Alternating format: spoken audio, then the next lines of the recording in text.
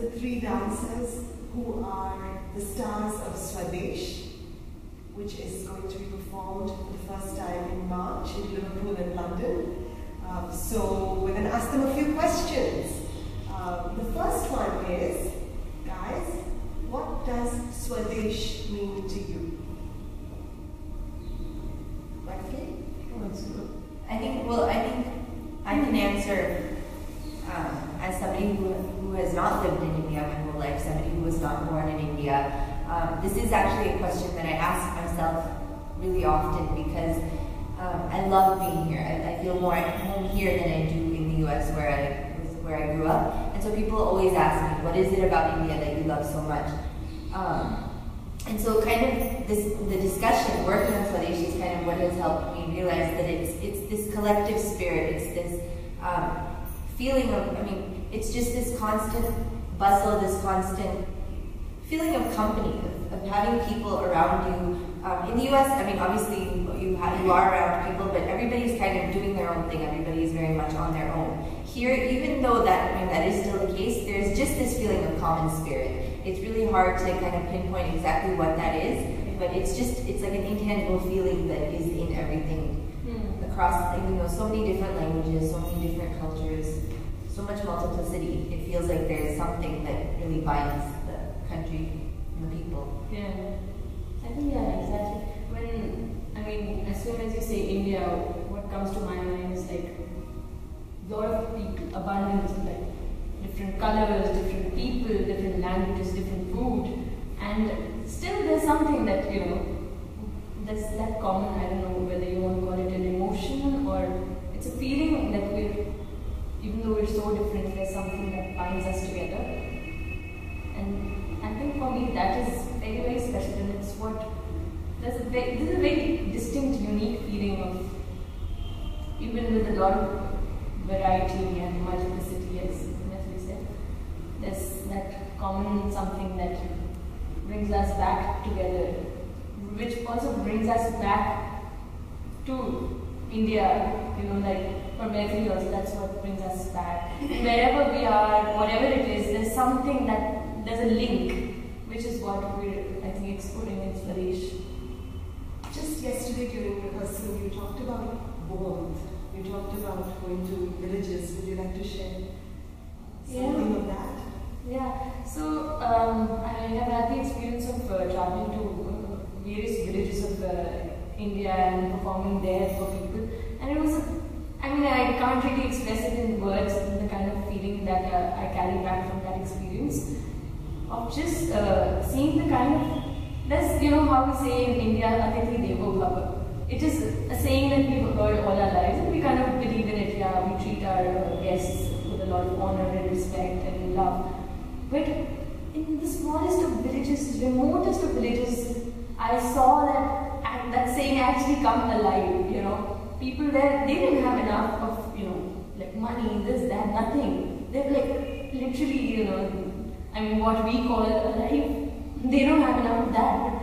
The kind of love they extended towards us, the warmth, in terms of just like welcoming us, and it was such a warm experience and that I carry with me wherever I go. So that is what is actually for me, I think, essence of India, which that spirit which is which exists in like, you know, you see it in fleeting moments everywhere in your daily life also. You'll be going somewhere, just just maybe a smile, you know. You know, you're walking and there's your eyes meet and there's a smile and you walk back into your life there's something that, you know, what she was also saying, it's not so individualistic, there's always that collective feeling, which I think is, is what is India.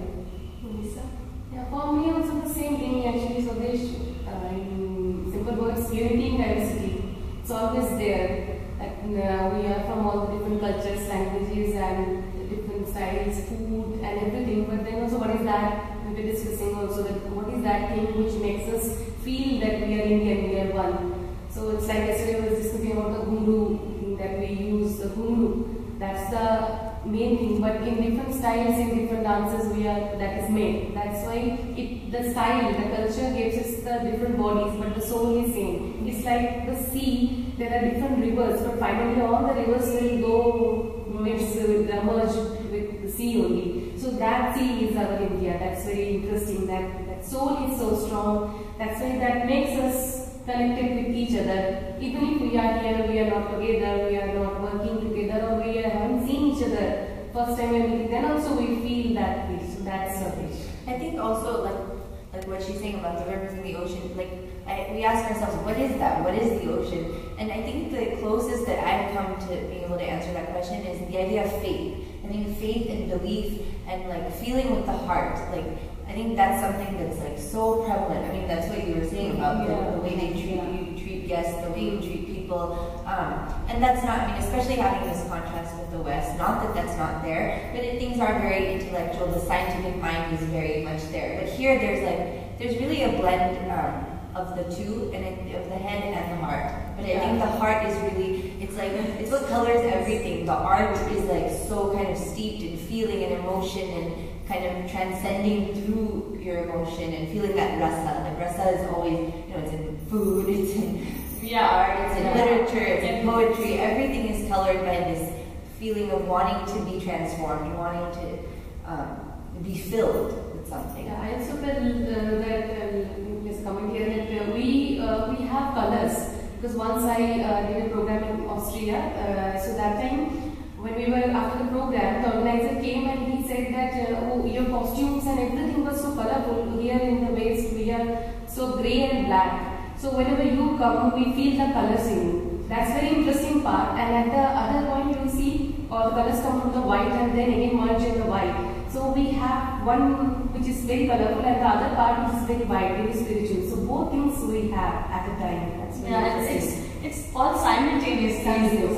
What is interesting? It's not like you know this is colors, but I mean that's and also when we talk about colors, it's it's not just physical colors, but it's there are also colors in our lives, right? And the way we behave, our culture, it's so colorful, and then there's still something which is just white, as Monisa says, it's like something common, Essence. that essence, which is so like inner and like And it's so interesting that actually all of our pieces, like, are, I mean, if there is a thread, it, it seemed really clear from the moment we even started speaking about our ideas that this was the idea that ran through. The, the duality and the oneness and the, the idea of both things existing simultaneously. Um, sometimes it is a contradiction, but then they coexist, like, kind of so seamlessly. Um, Yeah, it's interesting that you also talk about rasa, which uh, basically can mean taste or savoring, uh, even when it comes to food. But it's also something higher. It's art emotion. What you, it's what you experience on It's stage. experience, uh, yeah, uh, exactly. uh, with, with, with art. Um, speaking of savoring the experience of art, uh, you three have been working together for the first time. Of course, Arushi and Lisa have worked together, uh, performed together before, but it's the first time the three of you have gotten together with three different styles. Monisa's is Kathak, Arushi's is Odissi, and Mythili's is Bharatanatyam. What's that experience been like for you? It's Swadeshi.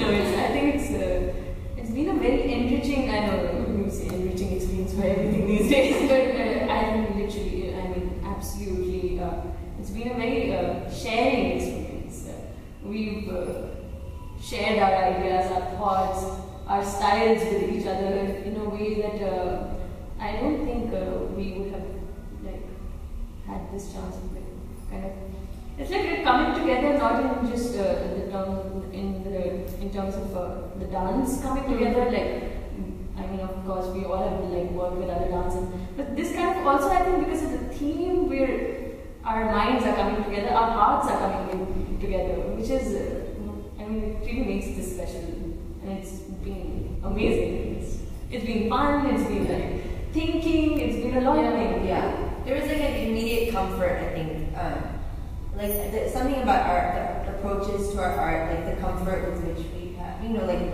our approaches to rhythm, movement. Like it kind of like the piece we worked on in our first trip together. That was the first time we actually all really met each other. You know, but like we finished that piece in like one or two days. Like it just kind of happened very easily. Yeah. Um, and that was very kind of, you know, just like our art forms, our like technique, all that stuff.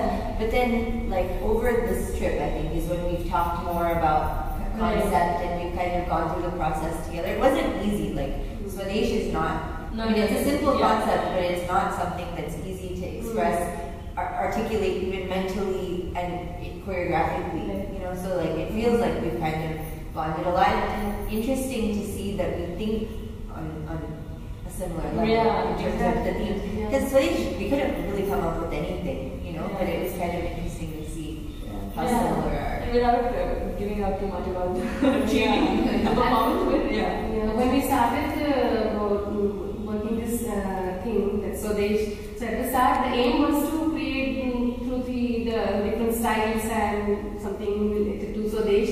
But uh, while working, we got the aesthetic relish in between us that the journey become more important. The aim becomes uh, this journey. Yeah, not just yeah, the yeah, Swadesh. yeah, Special. yeah, the creative process has has been um, kind of yeah more like Yeah. you're saying taking Yeah. precedence Yeah. over the final product. Um, And it's quite remarkable that all of you have the same uh, approach. to Yeah, the yeah, art.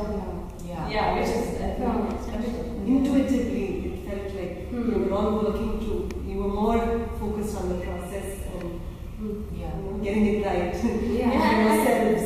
And this actually, I mean, the kind of the way we uh, have sort of just gelled, it, I can tell you, it doesn't happen like that with everyone. you know, Yeah, yeah, like- because dancers, they have their own like ideas, their approach, their treatment of pieces. It can be very different. But I mean, what is nice is that we have our different uh, distinctions, Yeah. but yet it's. I mean, the, when we come together, it's just uh, very smooth coming together. Yeah. So it's nice. And I think we, I mean, not to just not to be like acknowledging everybody in the room, but it's true. I think that having you, I mean, Akhila on board with us, like it's really hard when three of us are choreographing our own work, we're trying to put our own ideas together. Mm-hmm. We really need somebody who can make that seamless, who can kind of articulate things that we might be hinting at, but we don't even know we're hinting at them. And to hear somebody else kind of be like, I think this is what you're saying, or you know, maybe this, mm-hmm. maybe you need this in order to crystallize your idea. I think that's been really just to have this like other perspective on things is I think very very important, especially when you're choreographing something, when you're creating something. It's very important to have uh, different perspectives on it. Yeah, Which is about like a come sounding board, and yeah. you know. What I have found really interesting is that this core paradox or contrast that all of you are talking about is something that is there in your process. As somebody who's watching your process from the outside, giving feedback and you know incorporating uh, for a script, it's been really interesting to see that there's there have been moments where there's that pool of quiet and that, that coming together. I can feel that coming together, that one is visibly, and then it all breaks out into you know Silly. lots of movements and silly season. But, Yeah. but, but Yeah. you know, there's gravity and gravitas, as the theatre people say. And seriousness, but there's also this. That, uh, I mean, so your process itself Yeah. reflects some of the core preoccupations of, of, of the Yeah. production, Yeah. which is very interesting. Yeah. And it's been, I mean, it's been nice to have the freedom to like, you know, like That- that. that's like so my, cool. my ideas changed a million times, and like, you know, Arjuna's been very kind of like we need that, we need that space. Yeah. Especially with the commission work, it's really hard when you have somebody kind of breathing down your Yeah, back. Yeah. And, uh, and I think, uh, I mean, again, what I was trying to say without uh, really actually uh, telling, speaking about the piece, what it's going to be like, I can definitely say one thing, which is that, I mean, Swadesh, as Nestle also kind of hinted, we could have done very literal ways also. But somehow it's uh, coming out in a very sort of like a suggestive way, which is also very Swadesh, Very you know. Yeah. So I think, which is very beautiful, and I don't want to say more about the piece. But we can say one thing. What it's not is you're not going to get exotic India. Yeah. You know, Yeah. you're not going to get a tourist postcard. Yeah, yeah. But you're going to get something that's straight from the heart. Yeah. Like, Yes. I can just stop for one. Yeah, yeah. And then it's really true, and it's very simple, and it's very And it's very personal. Yeah, and it's personal. Yeah. Yeah. I think you've each invested so much of yourselves into, into the piece. It's really lovely and of course, the chief commissioner has completely been with